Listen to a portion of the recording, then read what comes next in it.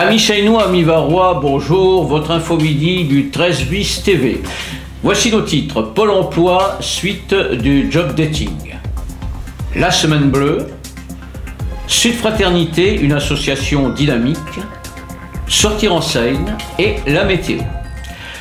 C'était donc hier au centre Nelson Mandela qu'éventuels employeurs et virtuels employés se rencontrèrent pour un job dating, dans le cadre du marketon national bien sûr. Cette manifestation était organisée par l'IFAP en partenariat avec Pôle emploi et diverses associations seinoises. Une centaine de participants l'animaient. Le principe en était le suivant. Les demandeurs d'emploi par petits groupes font auprès du commerce et des petites entreprises du porte-à-porte afin de connaître les besoins de ceux-ci. L'idée maîtresse est de collecter les offres qui seront partagées entre tous les participants. Ce n'est donc pas une démarche personnelle mais collective. Voici pris sur le vif quelques-uns des avis des présents. Image Michel Chapier, reportage Marik Quin. Alors le marketing, en fait, c'est une action qui a été faite par l'IFAP, le Pôle emploi, etc., par plein d'associations, qui permet aux demandeurs d'emploi d'aller à la rencontre des entreprises et des entrepreneurs. Donc ce matin, on avait une petite équipe de quatre, on ne se connaissait pas, nous étions tous des demandeurs d'emploi, et nous sommes partis euh, sur euh, un secteur bien précis des marchés et entreprises pour connaître leurs besoins en offres. Et en fait, nous avons reçu un excellent accueil de la part des entreprises qui trouvaient cette euh, action euh, très positive et qui nous ont encouragés justement à, le faire et, éventuellement à le recommencer. On a pu aussi collecter ce matin environ 5 euh, annonces je dis environ parce qu'il y en a encore une à confirmer, et euh, donc qui seront mises tout en commun. Et euh, toutes les personnes qui ont participé au marketing pourront de la même euh, postuler à ces offres qui sont mises tout en commun. Vous pouvez nous parler de cette expérience? Oui, oui, oui. Mais écoutez, ça m'a vraiment plu. Euh, j'ai trouvé que c'était une démarche solidaire euh, très intéressante. On est parti à la rencontre de diverses entreprises de différents secteurs et on a pu rencontrer euh, quelques responsables qui nous ont parlé des possibilités d'embauche dans la région, voire à court terme, moyen terme. Donc nous étions constitués en équipe de deux ou trois personnes et donc à l'issue de cette démarche, on a pu regrouper toutes les offres que nous avons pu trouver durant euh, cette démarche. Et donc, quelques, quelques CV, enfin quelques offres qui pourraient vous intéresser?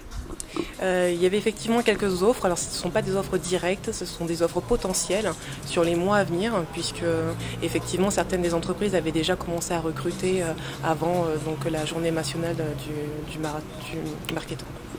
Le marketon, donc l'année prochaine, enfin, on vous souhaite pas euh, l'année prochaine de faire le marketon, mais si jamais vous pensez, vous le conseillerez à d'autres euh, demandeurs d'emploi? Oui, effectivement, je pense que c'est quand même assez important. Et comme je disais tout à l'heure, par rapport à la démarche de solidarité, euh, je trouve que c'est bien. On peut rencontrer d'autres personnes et on peut voilà tisser des liens et puis c'est vrai qu'il y a aussi d'autres personnes qui peuvent avoir des informations que nous, on n'a pas pu avoir. Et avec cet échange, ça peut nous permettre aussi d'optimiser euh, nos recherches euh, avec plus de, plus de chance. Nous avions annoncé hier la balade d'orientation en forêt de Janas dans le cadre de la Semaine Bleue. Ils étaient plus de 40 harnachés comme il se doit pour une longue marche sportive, n'ayant pas oublié le panier à provisions et leur bonne humeur, pour parcourir les sentiers de cette forêt domaniale. Animés de boussoles, crayons et autres sacs poubelles, cinq équipes parcoururent les sentiers, ramassant quelques détritus que d'indélicats prédécesseurs avaient laissés. À 11h30, la remise des récompenses eut lieu et le repas, tiré du panier, comme on dit, vint mettre un terme à cette belle journée. S'il est une femme dynamique à la Seine-sur-Mer, c'est bien Aminata Balo. Cette dame d'origine africaine est en charge de l'association Sud Fraternité. Lors du forum des associations, Luc Patin-Trégé l'a rencontré pour vous. Image, Michel Chapier.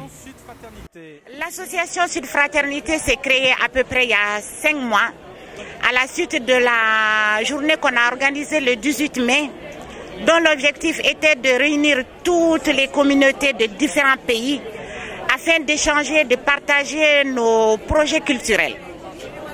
Voilà, donc on a tenu la journée du 18 mai qui a bien marché, d'où la création de Sud Fraternité au mois de juin. Donc nous sommes une jeune association qui démarre euh, il y a à peu près 5-6 mois. Très bien. Est-ce que vous pouvez nous parler de cette fameuse journée du 18 mai? Voilà, donc euh, la fameuse journée du 18 mai, ça concernait, comme j'ai dit, à, à rencontrer différentes communautés, à faire euh, voir aux autres communautés le côté positif parce que la Seine est une ville ici où il y a une terre d'immigration, où beaucoup d'immigrants se sont réunis. Donc avec la crise, le fossé s'est créé, la Seine est tombée dans un marasme économique et le moral est en berne.